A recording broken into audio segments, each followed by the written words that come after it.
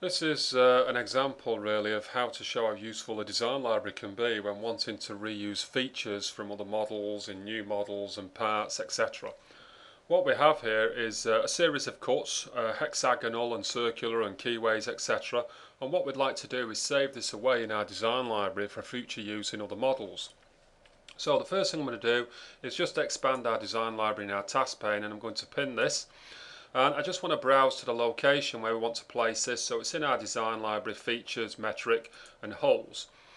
And I'm then going to go to the feature tree and I'm just going to shift select our four cuts as you can see. These have highlighted and I'm just going to drag and drop them into the task pane area.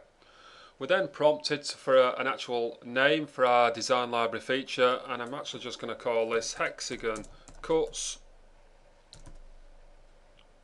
and we'll accept that. Now this has now been saved away in our uh, design library for future use.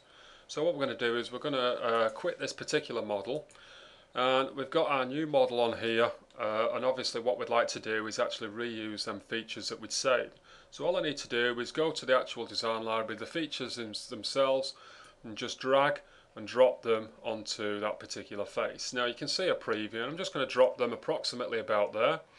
Now, because of the relations that were in the previous model, we had a concentric relation on the actual cuts. It's prompting us to select that circular edge so it can position it concentrically.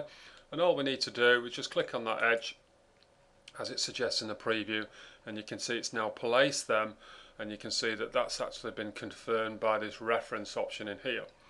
Now we have got an option to link to a library part if we wish to. What we can do is click on here then any future changes to this feature in our design library will then be updated in our model.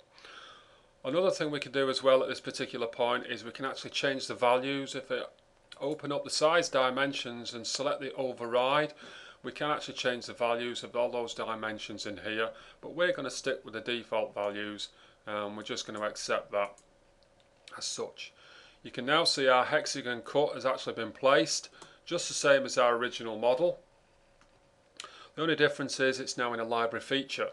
Now the problem will be is if we want to actually now modify this it's a bit awkward to do so so what we can do is we can right click and we have the option to dissolve library feature and this actually converts our library feature into standard cuts as before which can then be edited uh, with respect to sizes etc.